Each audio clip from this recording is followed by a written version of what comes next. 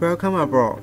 Here is the Virtual Computing Department of PolyU in the Gather.town, a magical virtual space. Here you can explore and get a brief understanding of the course. Also, to know our professors in this department. So now, please follow me. I will show you the way to the course Galaxy, where you can have a big picture of your future university life. Here we are in the Galaxy room. We can see a bowl-shaped picture in the room. The vertical lines represent six different categories.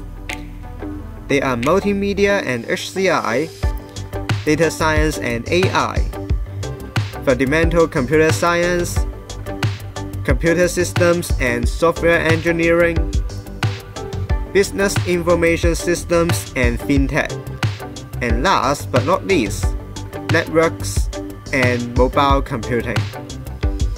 Meanwhile, the horizontal lines represent the difficulty levels of courses. The line close to the bottom is a low difficulty level and the line close to the top is a high difficulty level. Each star represents one course here. Let me give you an example. COMP 4122 Game Design and Development is related to multimedia and HCI and it is a level 4 course.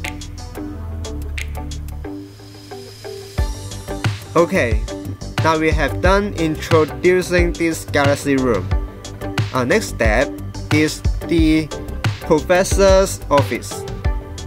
Please follow my lead.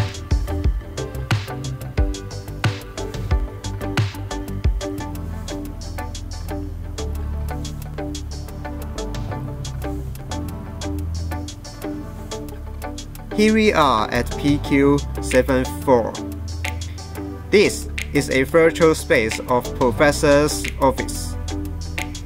You may enter through different doors to see which professors are sit inside. In their room, you may find information about their study field. The tour is come to the end. You can look around to explore the details if you have any questions, please feel free to ask. Thank you for joining.